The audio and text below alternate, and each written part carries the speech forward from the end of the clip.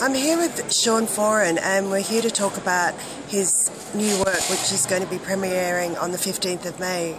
And Sean, over to you. Would you like to tell us? Yeah, sure. It's uh, it's a, it's a great project. It's the trio Trichotomy, myself, John Parker on drums, and Sam Vincent on bass, and we're collaborating with the QSO, Queensland Symphony Orchestra, for a new concert which features some new work of mine, but also these completely new arrangements of existing uh, trichotomy repertoire. And some of it is kind of older tracks that you know from years ago, from kind of past albums of ours, and some of it are some more brand new works that we recently played with String Quartet uh, last year, I think.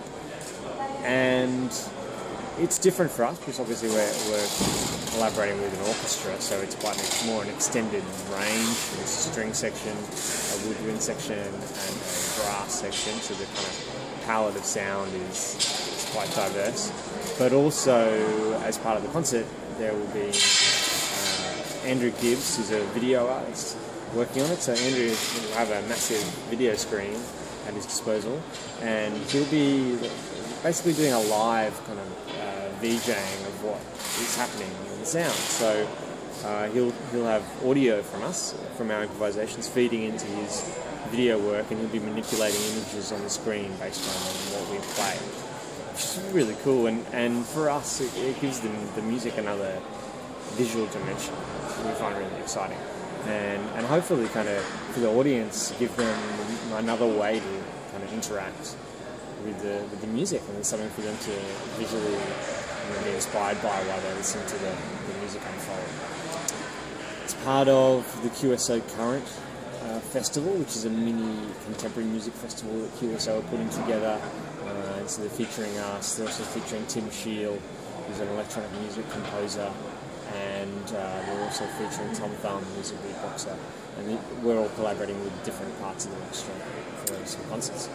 Sounds like a really interesting concert series. It's great. It's, it's cool, and it's the first time the QSO have done this, so I think they're looking to build on it every year, and, and also the way they programmed it was quite cool. It's, it's just an intense, uh, you know, festival in, in two days, just like you know when you buy a ticket to a festival and you see the, the bands back to back.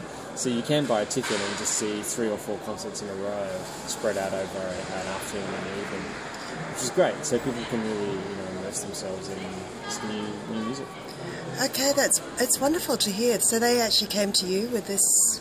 Yeah, it was a concept that they've had for a while, and they just wanted to grab a few different artists uh, that are that'll bring something unique. So you know, all the concerts are different. We're kind of bringing this jazz orientated playing. Tim's bringing this electronic uh, element. Tom Thum's bringing this beatboxing element. And so they're all, all the concerts will be different, but all have a a strand of contemporary music, I suppose. Okay, and so that's going to premiere in Brisbane? In Brisbane on the 15th of May, and it's something that hopefully we'll take around and, and play in other centres in, in, the kind of next year or whenever we can because it's, uh, you know, it's great and, you know, we've prepared this whole show so to play it once is of course a bit of a shame. Yeah. Okay, well thanks for talking to me. It's been great. Thanks. thanks.